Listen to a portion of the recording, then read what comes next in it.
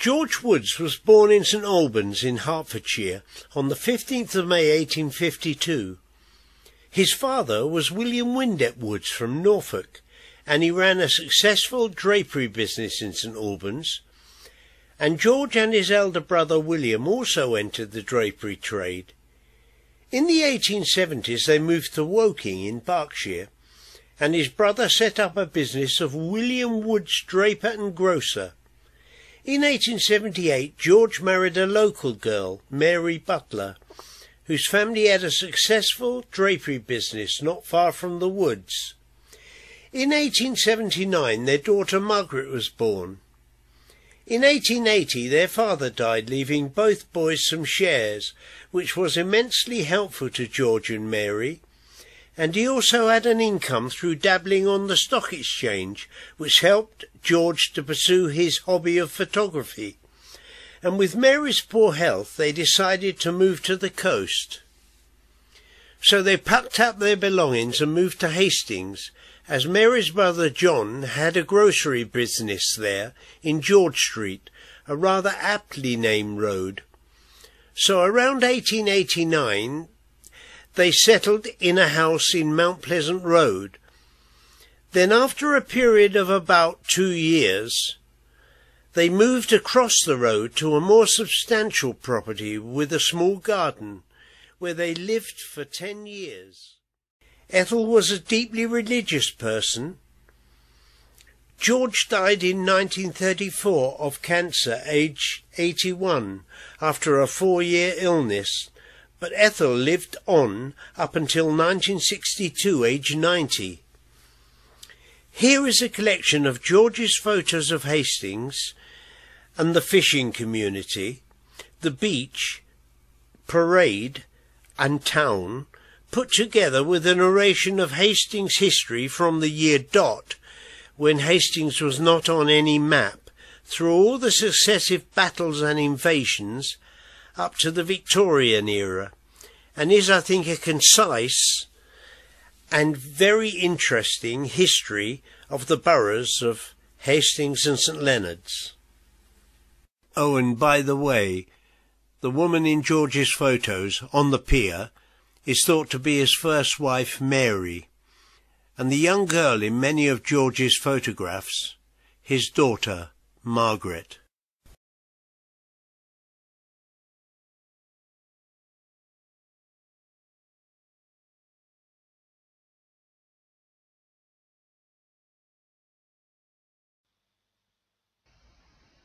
Hastings from Pre to Modern History, produced and narrated by Mike Wells.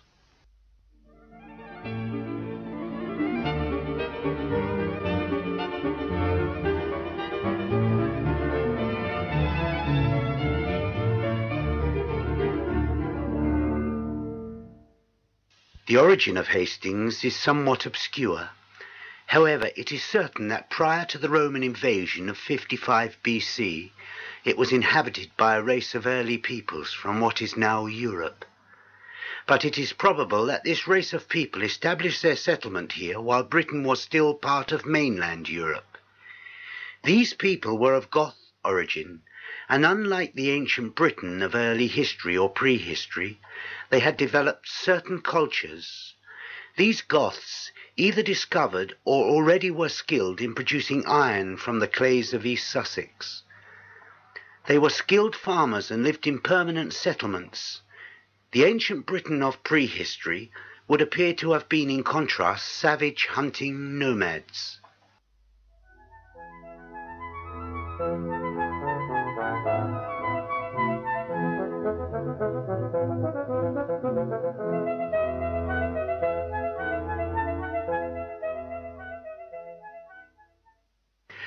When Julius Caesar invaded the south coast of Britain in 55 BC, his legions plundered and raped Sussex with the military objective of creating a bridgehead. Although searches have taken place over the years, no remains of the Roman occupation have ever been found, and it is concluded that the Roman settlement at Portus Novus was much south of Hastings and is today beneath the waters of the Channel.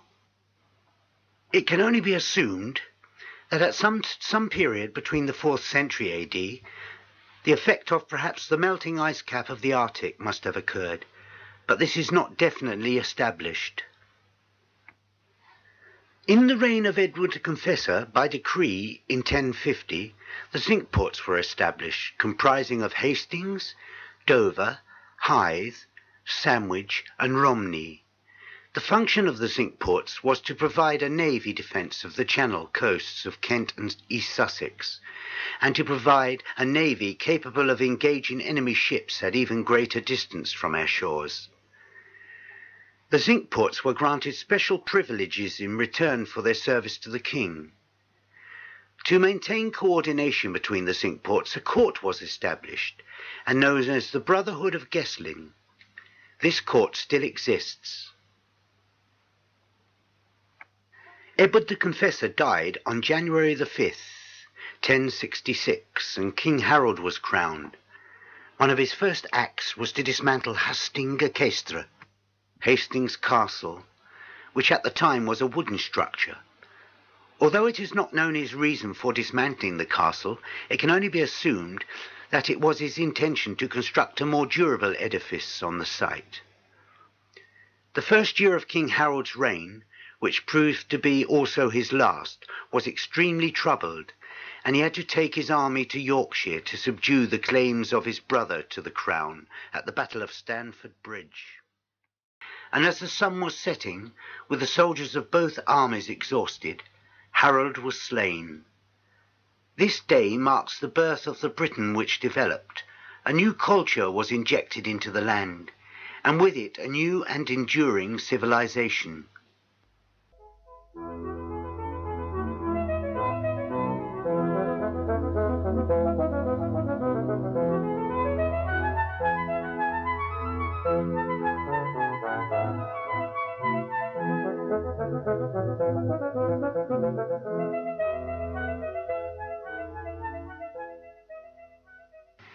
King William I granted the rape of Hastings to Robert Count de Eu in 1069, who endowed a church and a college of secular canons in honour of the Blessed Virgin Mary within the ruins of Hastings Castle.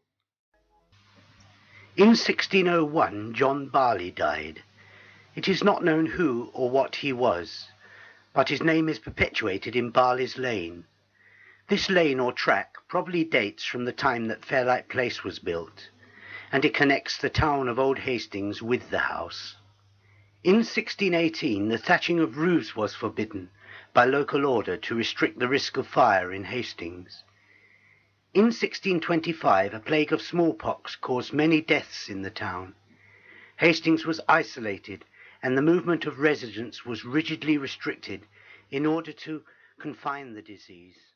This inconvenience maintained until 1928, when the tramcars were replaced by trolleybuses, and a more enlightened populace in St Leonard's raised no opposition to the erection of poles and wires along the front. In 1910, a local company calling themselves the Hastings and St Leonard's Omnibus Company operated open-top, solid-tired Milnes Daimler motor buses in the town in opposition to the trams. On July the 15th, 1917, Hastings Pier Pavilion was destroyed by fire. The Maidstone and District Motor Services opened their first depot in Earl Street in 1919. They also parked under the Linton Road arches. In 1920, the Maidstone and District Motor Services built a new garage in Brook Street, and their old premises in Earl Street were let to the East Kent Road Car Company to garage their bus, which operated from Hastings to Rye via Ore. John Logie Baird made his first television transmission from a room over a flower shop in Queen's Avenue Arcade in 1924, ferrying the British Army back to England in the face of the German blitzkrieg of artillery and aircraft. Between July 1940 and November 1944, Hastings was subject to 85 German air raids, most of which were during the hours of daylight.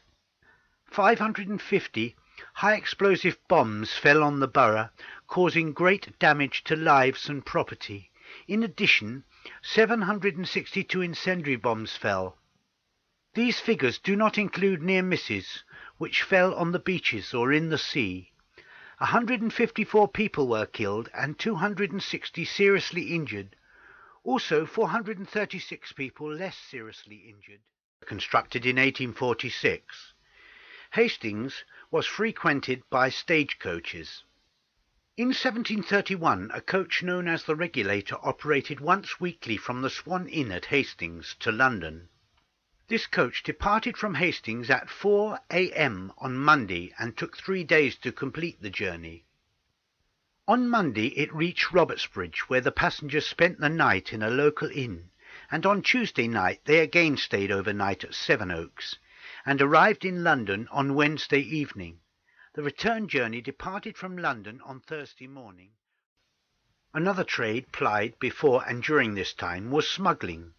Here are a few of the smugglers' landing places in Hastings. The Old Woman's Tap, the site of the Royal Victoria Hotel. Stüssel's at Bo Peep. Gin's Stall at Galley Hill. The Slide, Rock-a-Nore. The Whippings, Ecclesbourne, Westcliff.